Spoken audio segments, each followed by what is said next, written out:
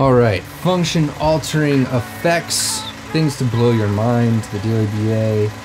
Let's record. Yo, Ryan O, behavior analyst and creator. All things behavior analysis is what we talk about on the Daily BA. We like to nerd out on psychology, and today, a simple concept that can help you rethink how we interact with the world. So, First, in behavior analysis, there are various ways to break down and conceptualize behavior. Today, I'd like to show you one of the ways and provide an example that can be extended to help you rethink the world around you in just about every way imaginable.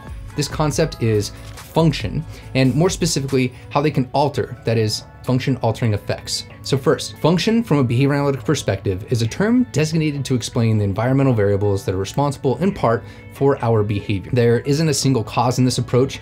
Uh, there's a group of variables actually, and when they all co-occur in a contingency, that is they're dependent on each other and they come together, they function in a particular way for a person engaging in the behavior. So I'm gonna go through an example of positive reinforcement first. Let's say that you're on a date and you finish that date and you end the night, you obtain the number and you are going to text somebody afterwards. So I have my tablet here, I'm gonna draw out an example. You'll note here we have four different variables. Uh, this is a stimulus, that's something that motivates you. This is the antecedent, something that let's say triggers the behavior. The actual response, in this case, will be texting somebody. And then the postcedent, the things that happen afterwards, also stimuli, okay? So stimulus, stimulus, response stimulus is how this goes. I'm gonna erase all these real quick. All right, so you wake up the next morning and at that next morning, there are certain things. This stimulus is gonna be, I don't know, let's say it's been 12 hours since you've last heard. Now, you have the sight of your phone. So sight of phone indicates the availability, right? So you have the motivation and the ability to potentially text this person. Let's say that you text as your response and what happens as a result? Let's say that they reply. If they were to reply, and this behavior happens more often in the future, or at least maintains that frequency, then you would say that this behavior was reinforced, all right? So this is an example of reinforcement. Let's go to another example. Let's say we have a similar situation. What we're gonna do here is we're gonna change the color. So let's say that this maintains that you actually have the sight of the phone, that is, it's been 12 hours, you're still motivated to be able to send the text. Let's say you even text as well, but let's say that the response is, is something the effect of like, uh, no longer interested, right? Uh, you're just straight shut down. No longer interested. This is making it less likely, that is, that you're going to engage in this sort of thing. And as long as your behavior is less likely to occur, we would actually say that this behavior was then actually punished, all right? So this is an example of punishment if you were to have the red situation happen. So we've done reinforcement, punishment, let's go through extinction. Let's say that you have the same situation which it's been 12 hours, you're motivated to send the text, you see your phone, you send the text, and what happens? Well, let's say ghosting. That is, there was no um, response back, right? Like no text back from the person you were on the date with.